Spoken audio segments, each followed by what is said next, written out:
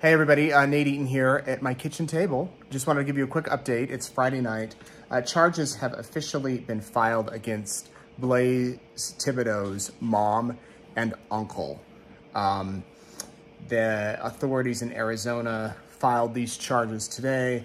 They are class four felonies and they are, let me read the official charge, custodial interference and conspiracy to commit custodial interference charges filed against Spring Thibaudeau and uh, Brooke Hale. Uh, Spring is Blaze's mom, Brooke is Blaze's uncle.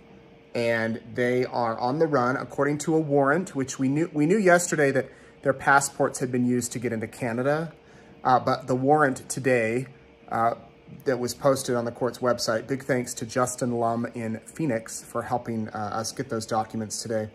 Um, it says that they assisted in getting ch the child, meaning Blaze, out of the country. And so, um, you know, the, the, search is now in Canada.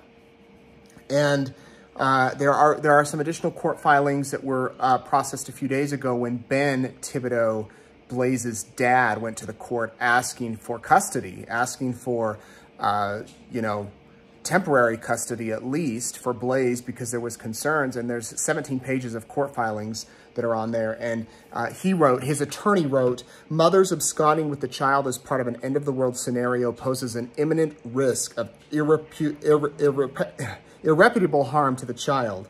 He is unwillingly caught in mother's end of the world doomsday scenario.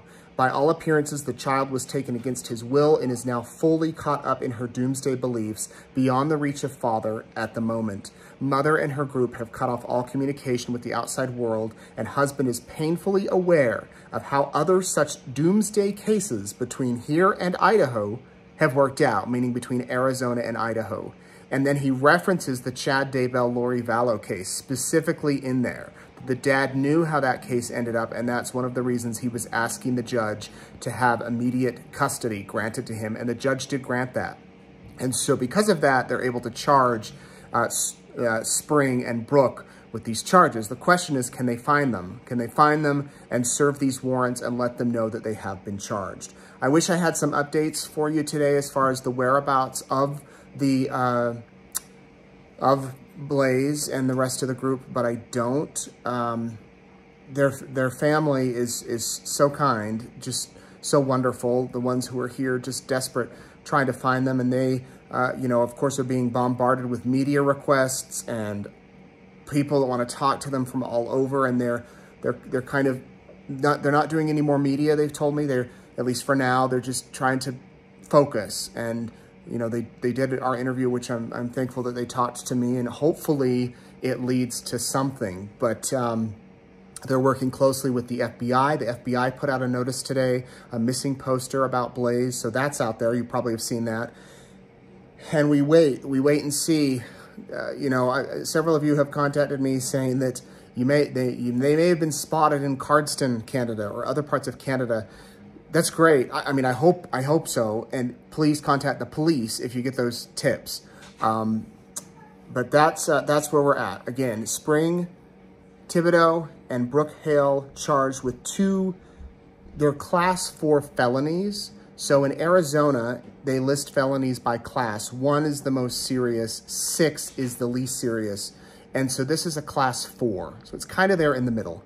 And again, it's conspiracy to commit custodial interference, and custodial interference. So they conspired to interfere in the custodial thing, it's just custodial agreement, and they actually did interfere in the custodial agreement.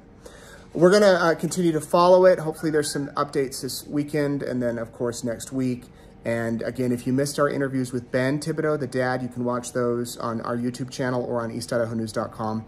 Also the interview with uh, um, Abi's husband, Braden, uh, Snarr. That's on our YouTube channel as well.